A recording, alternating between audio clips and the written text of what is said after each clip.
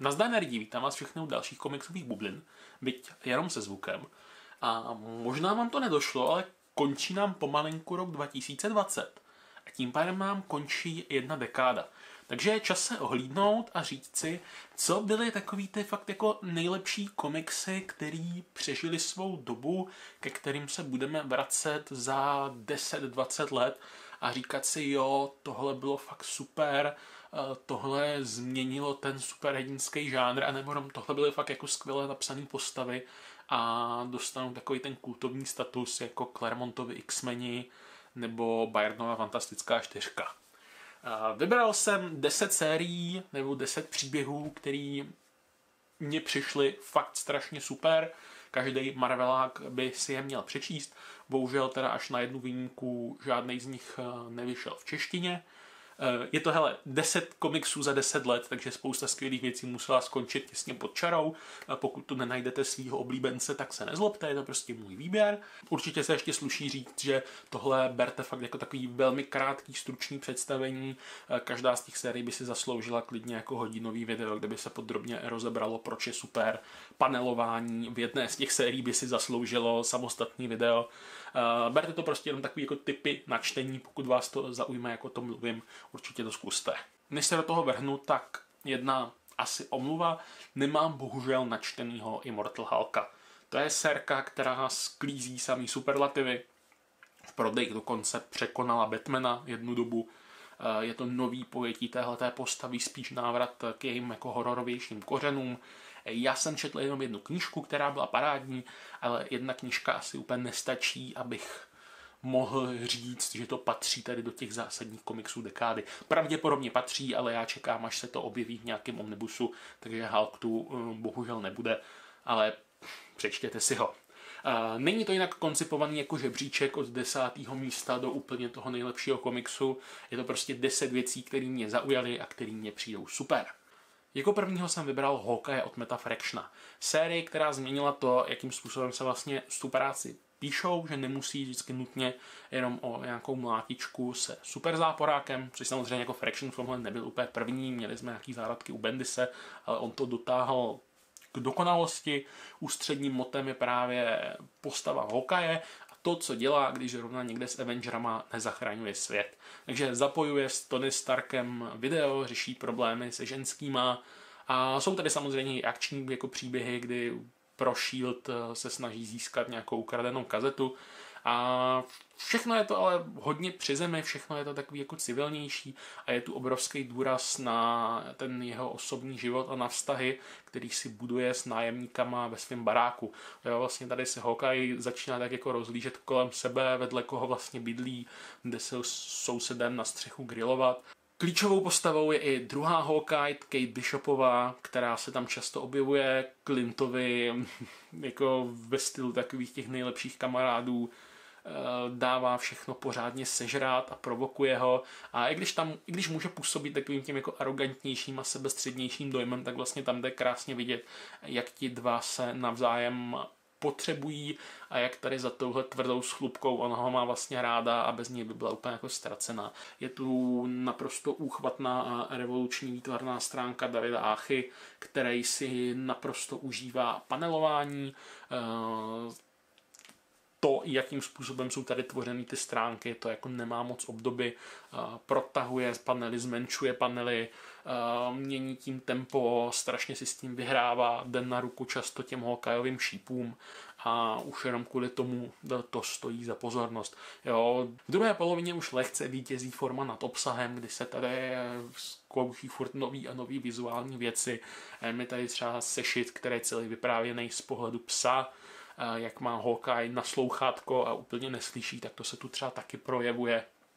Je to nádherný vizuální dílo, určitě stojí za přečtení. U jiného pohledu na superhrdiny ještě zůstanu a mám tady Visiona od Toma Kinga, který by podle mě vůbec nemohl vzniknout nebýt toho Hawkeye. Ale Vision, co si budeme povídat, Bčková postava, která nikoho nikdy moc nezajímala. Přišel Tom King a řekl, že odvypráví příběh o tom, jak má Vision robotickou rovinu. Ťukal jsem si na hlavu, čekal jsem, že to bude hovadina, ale ve skutečnosti se tady rozjíždí uh, fakt jako výtečný příběh o rodince na předměstí Washingtonu, která se snaží žít normálním životem, ale úplně jim to nejde a skončí to jako obrovskou katastrofou. Když čtete Vižna od Kinga, vůbec nemáte pocit, jako byste četli nějakou Marvelovku, spíš jako by to byl příběh eh, od Image, ty Marvelovské prvky tam pronikají až tak jako v druhé půlce, jako, jako marvelácká americká krása. A je to skvělý. Ostatně to, jak je to skvělý, dokazuje samotný Tom King. Napsal nějakých, uh, napsal dvě knížky, na ho čaplo DC, přetáhl si ho pod exkluzivní smlouvu a dal mu Batmana. Stačilo fakt takhle málo, protože ten Vision způsobil jako hotovou revoluci a už je to pár let starý a furt se o tom mluví. Tyhle dva kousky jsou takový jako lehce alternativnější, určitě nemusí sednout typickému čtenáři superhrdinských komiksů. Eh, když se přesuneme do takové jako mezi roviny, eh, mezi Visionem Hawkeyem a pořádnou jako superáckou rubačkou, tak někde na půli cesty mám Moon Knighta od Warrena Ellise. Vyšel česky, vyšel ve svazku nejmocnější hrdiny Marvelu, je to jenom jedna knížka a pár uzavřených příběhů, kde Ellis bere tady toho hrdinu, a dělá s ním naprosto šílený příkusy. V každém sešitě se Moon Knight vrhá do nového dobrodružství. Eh, v jednom čísle se potřebuje probojovat na střechu nějakého baráku, v jednom čísle vyšetřuje agenta, který zvlčil a schovává se někde v kanalizaci, v jiném čísle zase vyšetřuje jako podivnou nákazu a dostává se do takového jako houbičkového halucinogenního světa. Za těch pár sešitů se prostřídají příběhy, kde Moon Knight vystupuje jako takový Batman pomáhá policajtům zase s příběhem, který jdou hodně do nadpřirozena, do nějakých jako mystických říší, eh, střídají se tu kreslíři eh, a fakt si s tím dávají záležet. Budete čučet na ty nápady, který tady Elis chrlí. Je to takový mix eh, Felu a Planetary a já jsem si užil každý ten sešit. Je tu celá řada fakt jako vizuálně nabušených stránek, je tu krásná práce s komiksovým médiem, mně se třeba líbí druhý sešit, který má v úvodu vždycky na stránce 8 panelů, 8 různých lidí, který sledujeme, co zrovna dělají a postupně jednoho po druhém odstřeluje sniper. Na každé té stránce někoho zabije a když, když eh, pak otočíte list, tak vidíte, že už je tam těch panelů jenom 7 a postupně jako mizí a je to super. Co sešit, to jako úplně nový přístup, úplně nový nápad. Moon Knighta jsem si fakt jako strašně, eh, strašně užil a škoda, že toho Alice nedělá víc, protože tohle, tohle je naprostá pecka. A když bych přešel ke klasičtějším suprákům, tak tady mám první dva buky Tora od Jasona Arona, eh, tedy God Butcher a God Bomb opravdu to, co chcete od pořádného čistokrevného superhrdinského bijáku. Máme tady záporáka Gora, který se rozhodl, že pozabíjí všechny bohy. Je tam jeden sešit vyloženě zaměřený na něho, takže perfektně chápete jeho motivaci, víte, proč to dělá. Máme tam Tora, který je tu vlastně třikrát, jsou tu tři různé časové roviny, během kterých ten boj probíhá. Je tu mladý, neskušený ještě Thor, který si, to někde, si tam je někde jako kalí s vikingama a najednou na něho narazí a jde mu vokejhák. Máme tam Thora v současnosti, kdy zjišťuje, že mizí bohové a dochází k nějakým tady těm umrtím a zjišťuje, že gore zpátky. A máme tam Thora v budoucnosti, kdy je to jednooký král Asgardu, který je pod invazí právě těch gorových potvor a jemu je jasný, že tohle je poslední bitva, protože už je starý a už na to nemá. A tyhle ty časové roviny se tam jako prolínají. Záporák má samozřejmě pořádně megalomanský plán, je to nádherně nakreslený Esadem Rybičem a je to pecka. Má to jedinou chybu. Tohle fakt jsou první dvě knížky Aaronova Radnu. Nasadil tu laťku strašně vysoko a uši za těch šest let, nebo jak toho Tora dlouho psal, tak už je jako nikdy nepřekonal. Přejdeme na další, řekněme, klasičtější superhrdinskou řadu a to je Uncanny X-Force. Tým mutantů, kde máme Wolverina, Deadpoola, Angela, Psylocke a Phantomexe. Uh, X-Force slouží na takovou tu špinavou práci, o její existenci se oficiálně jako mezi X-menama úplně jako neví a když je někde nějaký problém, tak by tam měli přijít a krvavě ho vyřešit, že Wolverine vysune drápky, známe to. No a hnedka první úkol je postaví proti Apokalypsovi, který se někde znovu zrodil, tým se musí utkat s novou inkarnací jeho jezdců a najednou ejhle, Apokalypsy malý děcko. A teď tu máme morální dilema, jestli ho teda jako zabijeme, protože z něho vyroste ta velká potvora, která X-Menům pravidelně zatápí, nebo jestli na to nemáme právo, protože to je dítě a záleží na výchově a na to, co se z něho vlastně stane. Tady to téma výchovy je v tom Remendrově ranu hodně častý, jako probleskuje několika různýma příběhama, ty postavy mají mezi sebou hezké jako vyhrocený vztahy a celý to vlastně někam logicky směřuje. Jo, líbí se mi na tom, že to není jenom nějaká jako náhodná, eh, náhodná plejáda pře- příběhů, kdyby vyřešili problém A, pak problém B, pak problém C, ale má to logiku, proč dělají to, co dělají, eh, ty postavy se nějakým způsobem vyvíjí. Líbí se mi, jak se tady třeba pracuje s Deadpoolem, kde to vzniklo v době, kdy psal Deadpoola Daniela Way a byl to takový ten hláškující retard, tak naopak tady je Deadpool spíš takovým srdcem toho týmu, a dokonce i jako občas hlasem rozumu.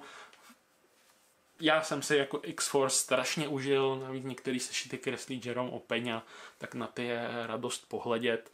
Uh, fakt jako parádní dobrodružství a Remender Židí má z těch X-Menů to, co jako 14 chcete, kam je tu apokalyps, v jednom příběhu se pak přesunou do oblíbené časové roviny z Age of Apocalypse, uh, řeší se tu Angel, ty postavy prostě mají prostor. Jo, to, tohle je vlastně ta týmovka, kde perfektně funguje jak ta akční rovina, tak ty postavy. Wolverine si projde nějakou cestou, uh, Angels, Psylocke a jejich vztah si projde nějakou cestou, je, je to prostě pecka a nejlepší X-menovská řada podle mě za poslední dekádu. Jo, teď teda tam přišel Jonathan Hickman, trošku to jako překopal a jde to jiným směrem, ale tam ještě čekám, co z toho vlastně vyleze a pokud bych měl volit jeden X-menovský komiks, tak, tak tohle.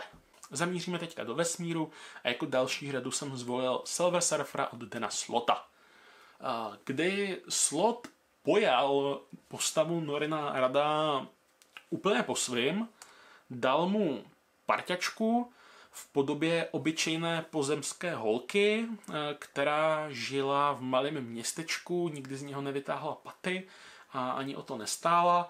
Najednou se proti své vůli zapletla do nějakého jako kosmického plánu a skončila se surfařem na jeho prkně. A ti dva si k sobě tak jako začali hledat cestu a začali poletovat vesmírem a objevovat neznámo. Eh, je to komiksová série plná nádherných nápadů, kdy vždycky dojedou na nějakou planetu, kde se dějí úplně šílené věci je tam třeba jeden sešit, který je dělaný jako pod Mébiovi a odehrává se v Mébiově smyčce a jsou tam jezdci na pterodaktylích. Eh, je tam planeta, kde se žije v euforii. Je to prostě nádherný. Tohle je taková jako řada, kde se fakt jako těšíte, co na vás vyskočí na další stránce. Postavu tého partěčky Dawn si okamžitě zamilujete, eh, sdílíte z ní tu radost z proskoumávání těch planet a z toho, že prostě jenom jedna prkně a letí někam vesmírem. Je to pohodová řada, ale nebojí se otevřít i nějaký jako vážnější témata, je krásně uzavřená, málem ukápla i slzička, to finále je dokonalý.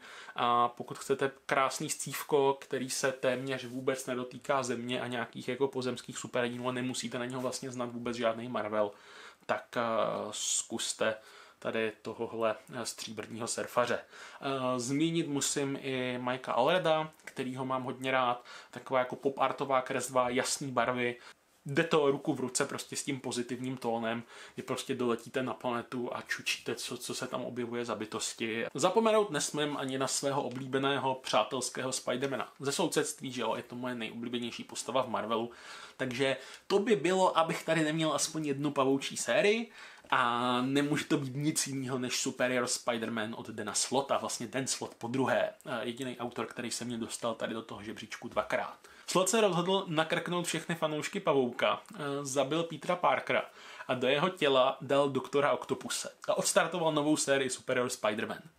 Já jsem čekal, co z toho vyleze, protože to znělo úplně šíleně ale vznikla z toho řada, která si jednak jako dělá srandu trošku z těch eh, kliše, kterých je Spider-Man plnej.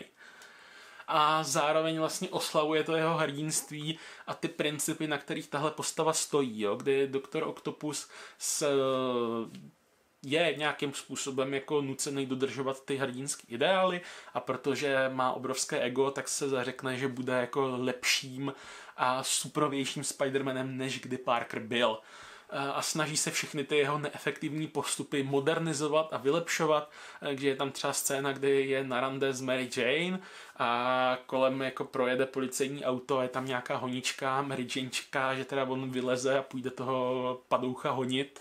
Říká, proč bych to dělal?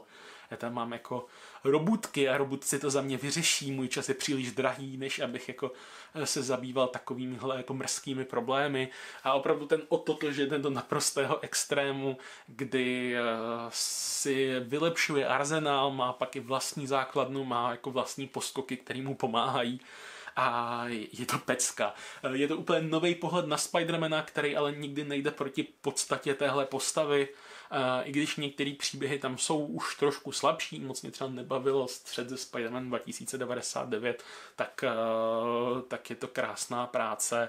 A ten Otos v té roli toho Spidermana funguje perfektně, taky se samozřejmě prochází nějakým vývojem od toho egocentrika na začátku po opravdu toho hrdinu v závěru, kdy si uvědomí několik věcí a podle nich jedna finále je správně epický, kdy se tam vrací Green Goblin a dojde k souboji vlastně těchto dvou největších Spider-Manových nemezis a pokud prostě pavouk za posledních deset let, tak, tak superior. Spider-Mana ještě zůstanu, ale vlastně jenom jménem. Uh, další řadou je, jsou Superior Foes of Spider-Man což je taková zběsilá taškařice od Nika Spencera, která se soustředí na novou Sinister Six, a.k.a. tým úplně jako Bčkových nebo Cčkových záporáků a hrozných nímandů. Máme tam Boomeranga, máme tam Šokra, máme tam novou ženskou Beetle a nějaký další, kteří prostě chtějí spáchat nějakou jako pořádnou loupež a získat si ten respekt a ty prachy Eh, všechno se jim to samozřejmě zkomplikuje a nic jim nevíde tak, jak by chtělo. Eh, v duchu těch správných eh, týmovek, nebo v duchu těch správných záporáckých týmovek si ty postavy bodají kudlu dozad a podráží se a každá si, každá teda jako hraje v tom týmu, ale hraje si na, svom, na svém písečku a sleduje tu svoji agendu. Na jednu stranu je to strašně zábavný, nebere se to vůbec vážně, třeba hnedka v prvních číslech tam vykrádají z Verimex, protože jeden z toho týmu je ve vězení a potřebuje nakrmit svý zvířátko, eh, dojde tam, nebo Spencer tady má výborný nápady, jako klub pro reformovaný superpadouchy, kam ten jeden třeba dochází na terapii, aby, eh, aby nesešel pak na to z cestí. A já tu řadu miluju, mě tady strašně sedl ten Spencerův styl humoru. Pokud máte rádi kriminálky Eda Brubakera a ten jeho noir, tak tohle je na to výborná parodie. K těm postavám si najdete vztah, jsou fakt jako perfektně vykreslený a já jsem si to strašně užil. Je to odlehčený, má to jenom pár knížek a stojí to za to. Nenechte se zmást tím Spider-Manem v názvu, ta postava se tam prakticky neobjeví, celý to stojí tady na těch záporácích. Teď tu mám jedinou sérii v tomhle videu, která pořád vychází a to je Daredevil od Chipa Darskyho kde on vzal Rudýho ďábla z Hell's Kitchen a začal ho psát v duchu jenom Franka Millera nebo Briana Michaela Bendise, eh, srazil ho na kolena, Daredevil si tady prochází krizí svých hodnot, opouští ten svůj tradiční červený kostým, protože není úplně spokojený s tím, co se s identitou Daredevila stalo, bere na sebe takový ten černý kostým z Millerova roku 1, který měl i v Netflixovském seriálu. A vlastně pojetí Daredevila z Netflixu se tohle hodně drží, je to takový jako špinavější, Daredevil tady řeší vztahy s policií, s gangstrama a musí si na té ulici vydobít svoje jméno.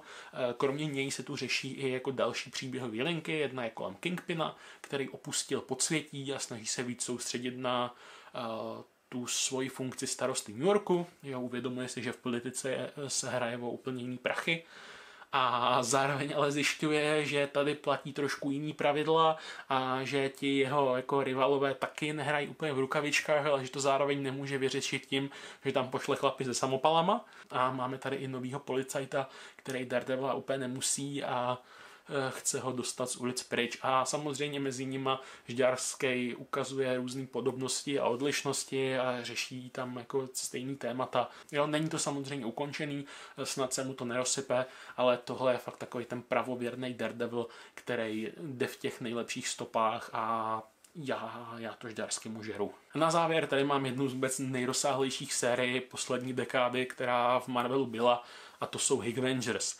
Tedy Avengers a New Avengers od Jonathana Hickmana, obrovský epos, kde jde o destrukci celého multiverza. Vlastně jak máme několik paralelních světů, tak planety Země se začínají k sobě blížit a když se srazí, tak ty dva vesmíry zaniknou a hrdinové to musí řešit, nebo spíš co hrdinové, ono to nikdo moc neví, řeší to na začátku skupinka iluminátů, takových těch jako nejpřednějších zástupců superhrdinské komunity, kdy tady máme Beasta za X-meny, Starka za Avengery, Mistra Fantastika, Black Panthera za Wakandu. Řeší se to takovýto morální dilema, jestli máme právo zničit celý jeden vesmír, aby jsme zachránili ten náš, jestli pořád budeme hrdinové, když tohle uděláme, Eh, je tu střed pragmatismu a idealismu a celý to postupně bobtná v naprosto jako epický bitky, kdy zjišťujeme, kdo za to vlastně může, jsou tam nějaký pokusy proti tomu bojovat a je to radost číst. Hickman je opravdu mistr těch dlouhých sák, i když jako trvá, než se to rozjede, zvlášť jeho první knížky u Avengerů nejsou nic moc, tak zvlášť v té druhé polovině už jsem jako nadšeně hltal každý sešit, my se dozvídáme, kdo jsou ty ty tajné postavy, o kterých se tam mluvilo. Růžky začne vystrkovat i Thanos, který tu situaci řeší po svým a je to paráda. Je to prostě posun hrdinů do takové té šedé zóny, kdy musí řešit fakt nepříjemné věci a já jsem tohle Hickmanovi prostě žral a celý to zakončení pak v podobě Secret Wars je úplně úžasný. Eh, není to jednoduchý čtení, vyžaduje to hodně pozornosti a hodně času, má to prostě snad nějakých 80 sešitů nebo fakt jako strašně moc, ale stojí to za to. Hickmanovi Avengers byli číslo 10, tím pádem jsme na konci žebříčku. Budu rád, když mi dáte vědět, co vám tady chybělo. Uh, jak jsem říkal na začátku, hele, top 10 je top 10 a spousta skvělých věcí prostě skončila pod čarou. Uh, takže budu rád, když mi dáte vědět, co byla za vás ta nejvíc nejlepší věc, kterou Marvel udělal. Budu taky moc rád, když mi napíšete, jestli jsem vás na něco nalákal, jestli se něco zkusíte přečíst, případně uh, jak se vám to pak líbilo. Uh, já se budu těšit zase u nějakého dalšího videa a komiksu zdar.